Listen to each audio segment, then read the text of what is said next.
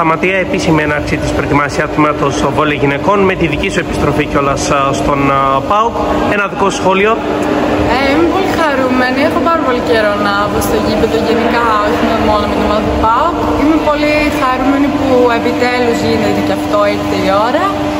Ε, έχουμε ένα ρόστερ το οποίο είναι πάρα πολύ νεανικό και πιστεύω ότι από την πρώτη κιόλας μέρα έχουμε ήδη ένα πολύ όμορφο κλίμα.